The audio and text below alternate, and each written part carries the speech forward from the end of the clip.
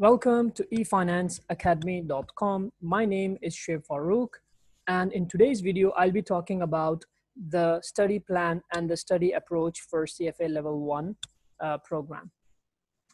So uh, before uh, I, I, talk about the study plan, uh, a common question that I get asked, and that's what I observe um, with the candidates that are interested in CFA program, is that why is CFA exam so difficult?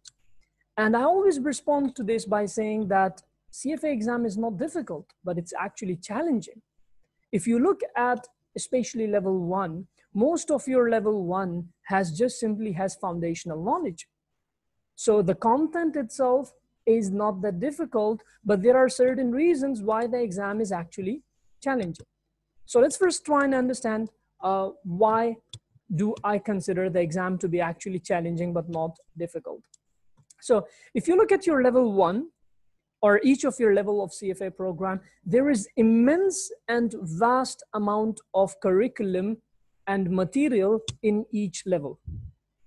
I'll look at it in this way. For example, if you see the CFA Institute curriculum, that is the textbooks, you will find that in level one alone, all the curriculum is spread over 3,000 plus pages of text. So you have got around hundreds of learning outcome statements that each candidate is expected to master. So the content per level, the content in each level is really huge and gigantic.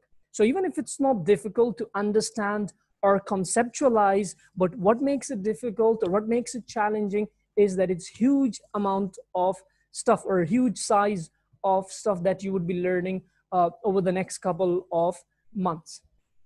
Now, add to this fact that the exam, your level one or each of the level exam, is ha happens in a one single day.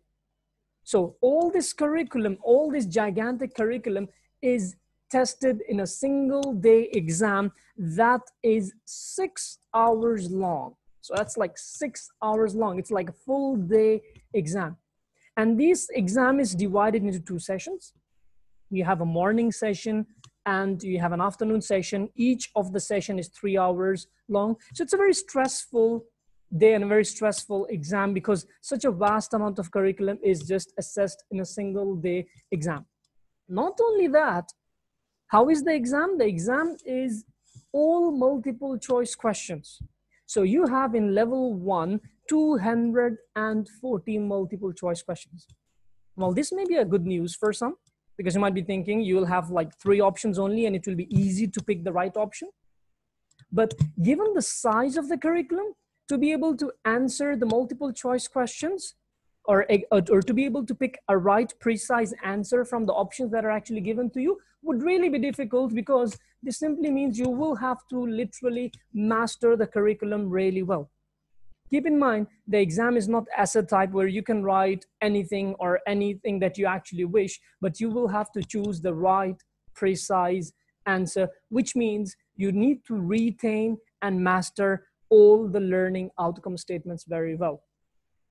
So your plan or your strategy that you would actually build should incorporate all this that we have actually talked about, the fact that the curriculum is just too vast. now, I often see um, young lads um, that they tend to think that they can study for CFA like the way they might have studied for their um, academic qualifications.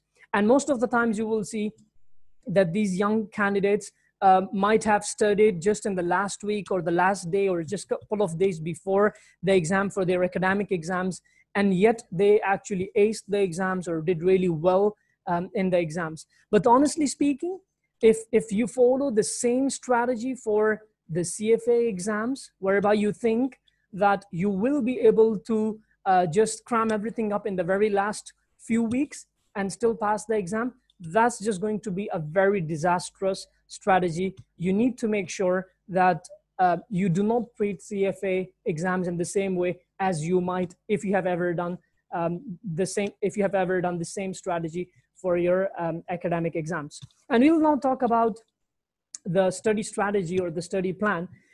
Um, a very common question before we talk about the study plan is when should I start? And my response to this always is you should start immediately. You should start now.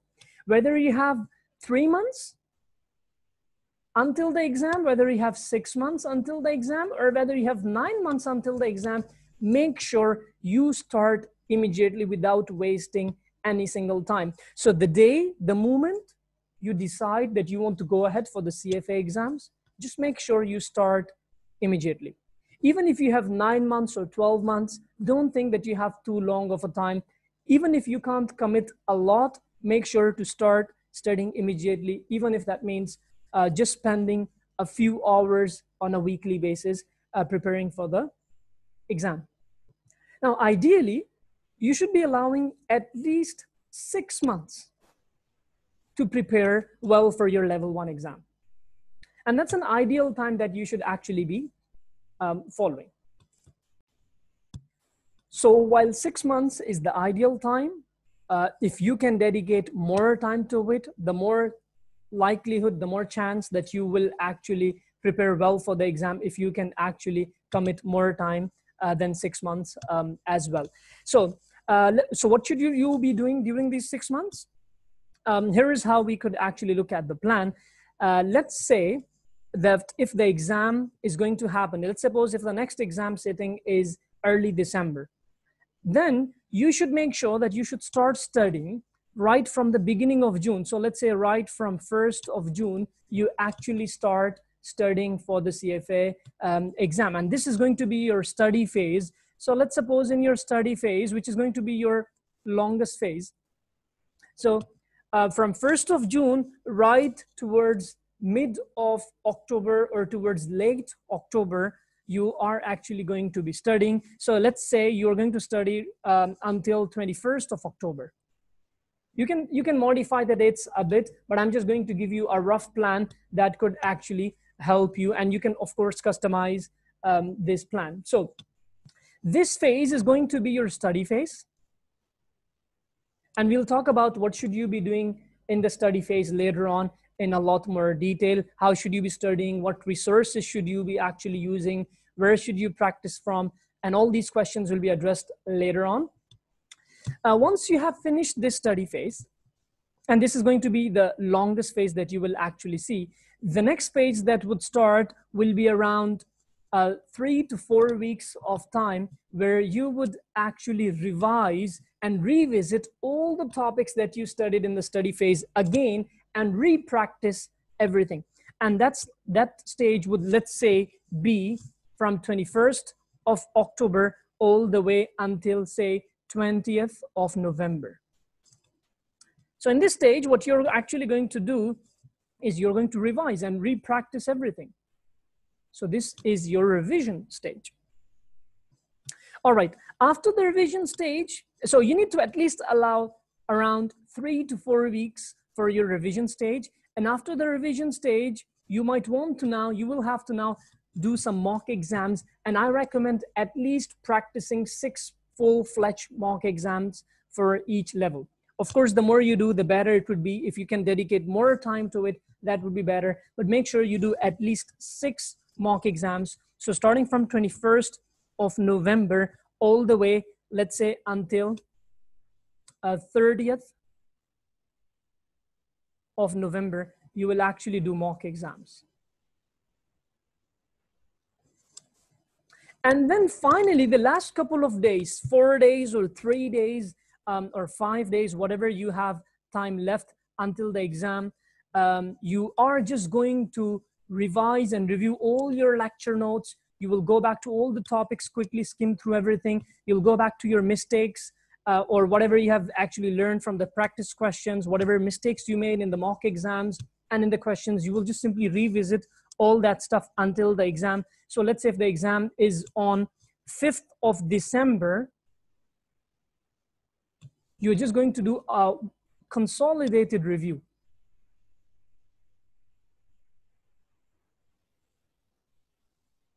You might want to add or leave one of the mock exam close to the actual exam, maybe two days before the actual exam.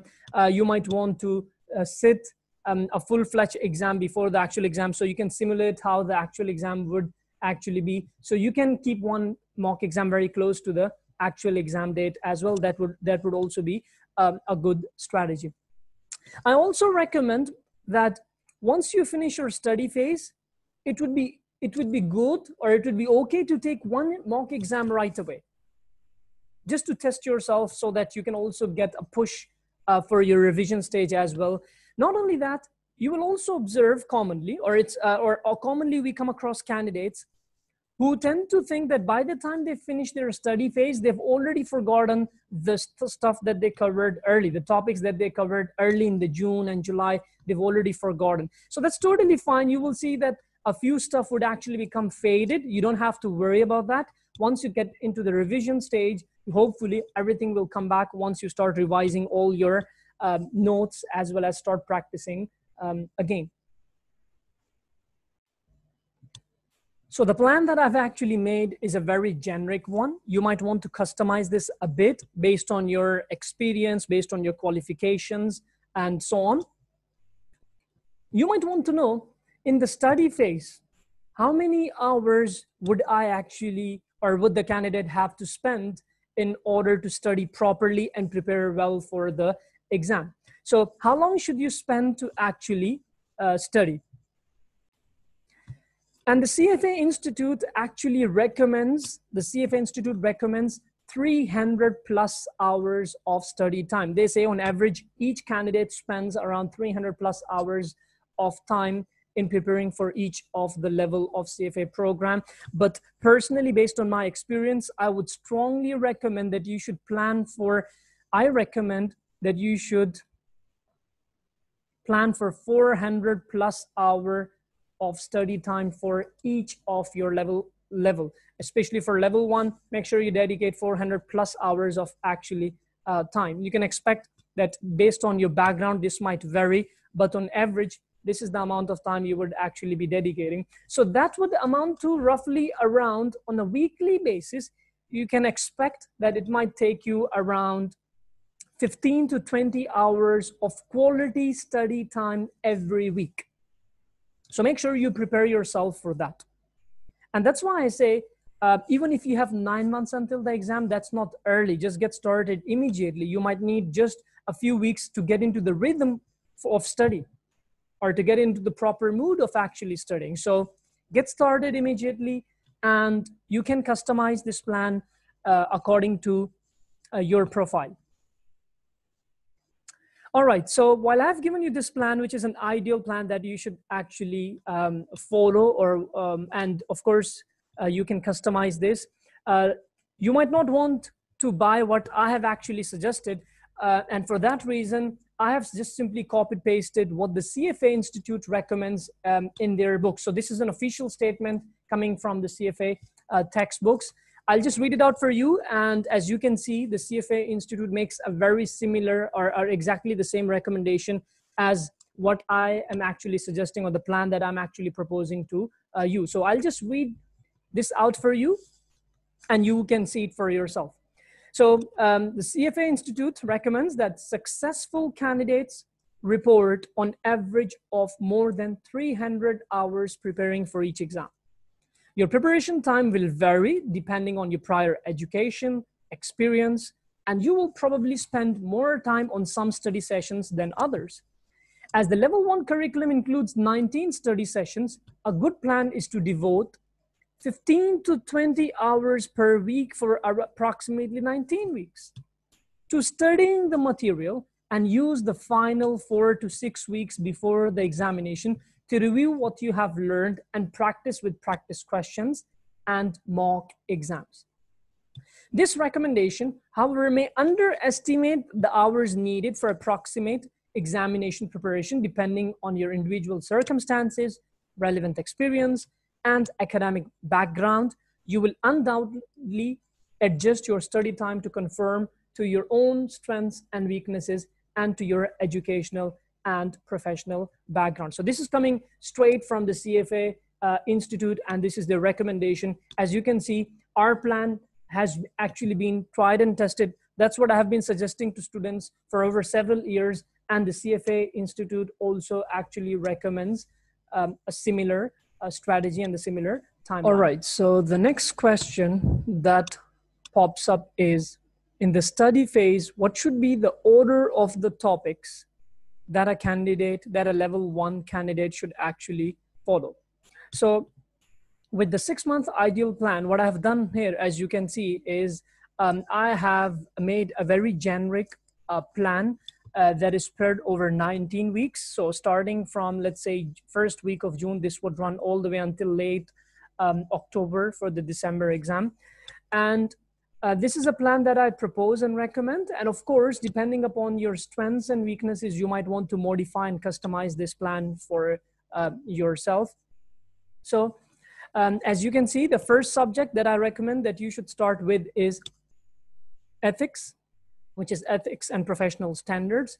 Um, although the weight of this subject is 15% um, of the exam, but I'm only dedicating um, around only one week to this because um, ethics is a topic that I always recommend that you should study um, at the start and also uh, towards the end of your study phase, you should come back to ethics again and study it again. Um, another thing is ethics doesn't take long to study. It's all theoretical topic. So it wouldn't take you that much long to be able to study ethics. But, but this should not mean at all that you should not uh, focus and stress much on this topic. You need to come back to it again.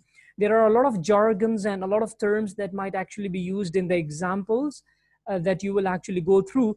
And it would be much easier once you come back to ethics after covering the rest of the topic. So towards the end of all these topics, make sure you go back to ethics again and spend a fair amount of time uh, on it, reviewing the content of ethics um, again. After you're done with ethics, I recommend that you start quantitative methods, which is in short quants. Uh, but I don't recommend that you do the entire subject in one go. Uh, the reason being is so if you look at the material in quants, you have approximately around um, six readings. The first reading is based on the principles of finance, which is time value of money, while the rest of all the five readings that you have in quantitative methods are statistics. And oftentimes, most of the candidates um, are find statistics a little uh, a little challenging, or probability concepts or probabilities are a bit challenging for uh, quite a lot of us.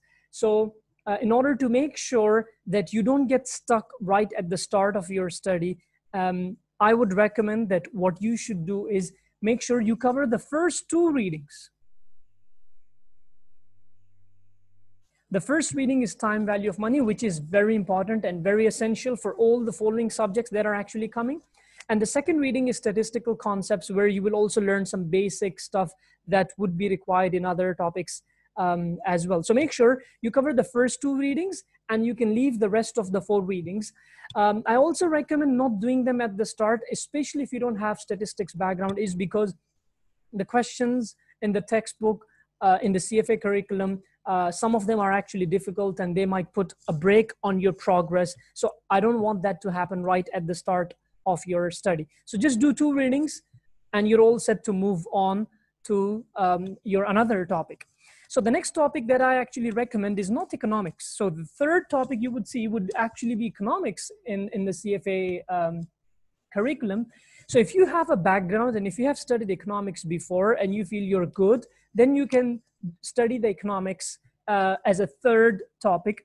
But if not, then you can leave it to a later stage and you can get started with financial reporting and analysis. That's your accounting uh, subject that's the highest weighing just like ethics it has 15% weight and around um, you've got around 11 readings um, around 11 to 12 readings altogether that's why we are dedicating three weeks to it need to make sure that you conceptually build good understanding in this subject as it comes uh, as you'll have an advanced level uh, in your level two Next topic would be then corporate finance, a relatively easy topic, very much related to the uh, concepts in uh, FRA, financial reporting and analysis. Um, the weight is good. You don't have too many readings. They're not too long readings as well. You have approximately around six readings with just 10% weight. So two weeks should be fairly a good amount of time to actually try and cover all those um, readings. Next comes equity. So um, equity, equity investments, that's your equity subject. And that's around 11% weight. So quite a good weight for about six readings. And again, relatively, relatively candidates find this subject um, on uh, with an average level of difficulty. So it's, it's, an, it's a subject that you should spend a good amount of time on and make sure you do good amount of practice as well. The next subject that comes is fixed income. Although this is a topic that a lot of candidates actually find challenging, uh, the reason being because most of us don't get exposure to fixed income securities as much as we do to the stocks, to, to the equity um, securities. Um, and that's why, because of the lack of exposure, a lot of information you learn here would actually be new if you have not ever traded or invested in the um, um fixed income markets. However, the subject is very interesting. And if you get to know the basics in this subject well, uh, you will notice that the subject is actually not difficult. But because of its difficulty and because of the fact that it takes a bit long time, uh, I recommend spending a little more time on it, maybe two weeks or two weeks more than two weeks. So I'm recommending around maximum of three weeks, although the exam weight is the same as the equity subject. That's around 11% as well. So I repeat, making I repeat again, make sure you understand the basic um, and basic concepts in fixed income well. And if you do that, honestly, it's not that difficult subject. All right, so I've written the next two topics together, which is derivatives um, and alternative investments. These are two separate subjects or topics. Derivatives in terms of the exam has 6% weight, while alternative investment also has 6% weight. Um, I don't recommend more than a week, but if you want, you can adjust the time here between fixed income. Maybe you can spend two and a half weeks on fixed income and one and a half week on these two topics. The good news is derivatives, um, although again, since because of the lack of exposure, uh, a lot of information here could be new, uh, but derivatives has only got two readings, only two, and alternative investment has got only one reading. So you can imagine only three readings make up your 12% of the exam. So it should not take you too long. And it, this, this is an area you need to make sure that you dedicate a good amount of time on because in terms of weight per reading, it's the highest in both of these uh, topics. So make sure uh, you spend a fair amount of time uh, on both of these topics. Next uh, would be um, now, if you see the textbook after alternative investment, you get portfolio management. Uh, but I recommend studying portfolio management towards the end um, because you have got around six readings with 6% weight. So in terms of weight per reading, it's like really low compared with other topics like derivatives, alternative investments, fixed income, equity. So equity six readings with 11% weight. Same goes with fixed income as well, around six readings um, with 11% weight. Corporate finance, the same. So if you want, you could keep it to the end or you could cover it right after the alternative investment that I'm leaving to you. But this is what my recommendation is. As for quants, you can come back to quantitative methods part two, which are the remaining four readings. So two readings above and four readings all in all make six readings and that amounts to 10% of your exam. So you can cover the rest of the four readings and then you can move on to economics which is 10% of your exam with about seven readings. And finally, uh, the last topic should, would be portfolio management, which would actually be 6% of your exam.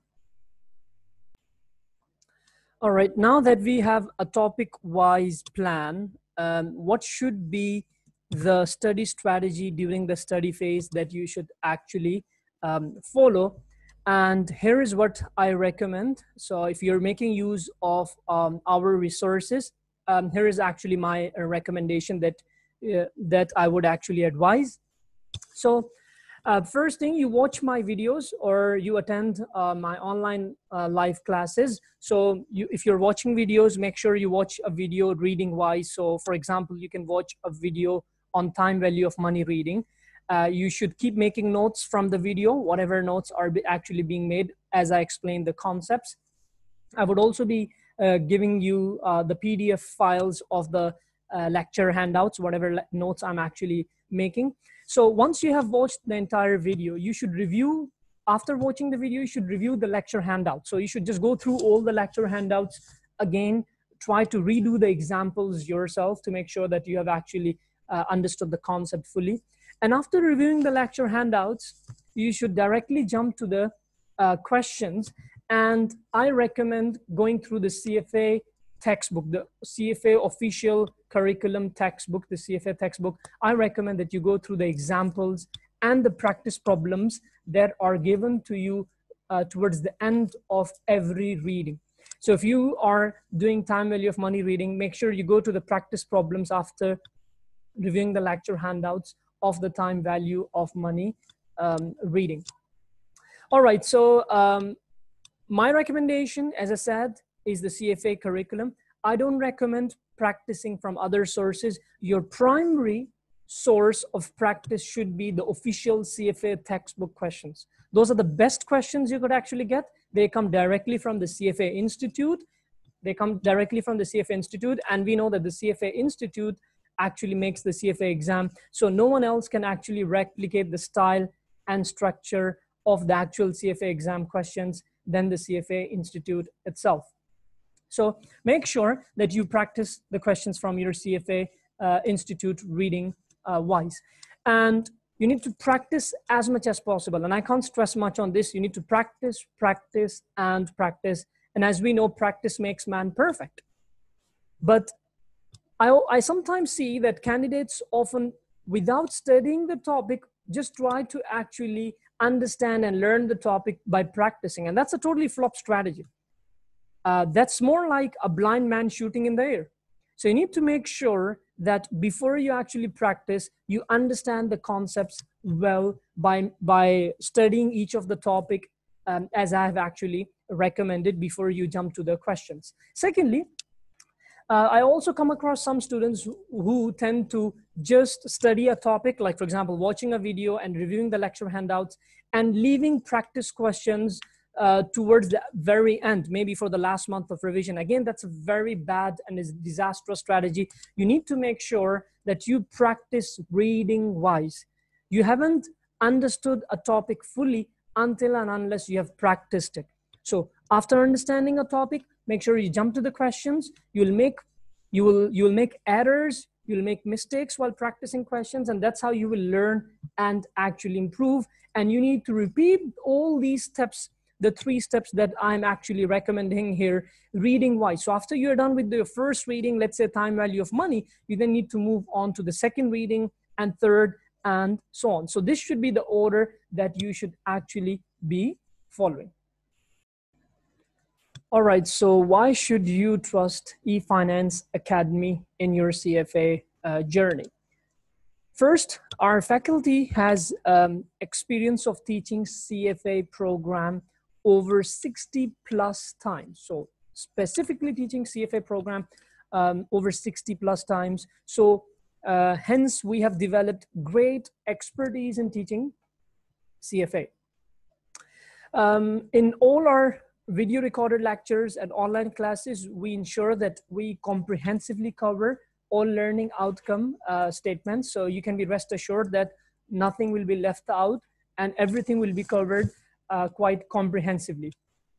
We also have a very unique teaching style and you can experience that through the free sample videos that we have on our uh, webpage.